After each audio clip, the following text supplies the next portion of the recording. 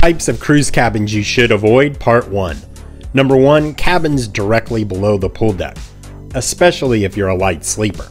You may not be aware, but in the evenings, the crew cleans and stacks all the pool chairs, and every morning around 5 a.m., they put them back out.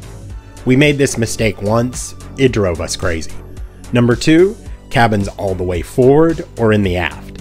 This may not affect you if you aren't prone to seasickness but if you've never taken a cruise, my recommendation is to stay in the middle of the ship and on one of the lower decks. We all know that weather is unpredictable, so you could feel movement even in some of the larger ships. Subscribe for part 2 and for more cruise tips and tricks.